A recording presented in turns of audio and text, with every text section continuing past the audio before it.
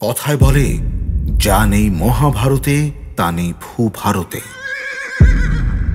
পাণ্ডব আর কৌরবদের মধ্যে ধর্ম আর অধর্মের লড়াইয়ে কৌরবদের নেতৃত্বে ছিল দুর্যোধন।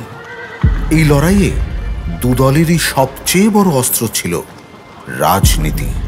তাই বলা কঠিন, এই মহাকাব্যে কি আসল নায়ক আর কি বা খল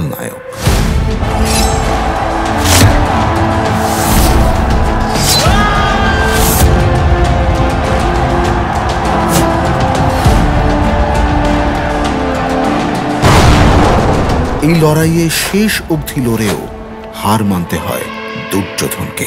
আর সেই পরাজয়ের বদলা নিতে যদি একবিংশ শতাব্দীতে কেউ নিজেকে দুর্যোধন মনে করে অতীতের সমস্ত হিসেব বুঝে নিতে চায়, তাহলে তার পরিণতি কি হবে?